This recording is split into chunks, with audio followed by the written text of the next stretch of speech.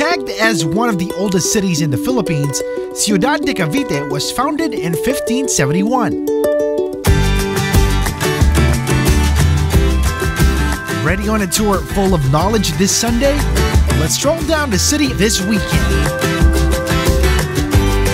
Call time is 10 in the morning.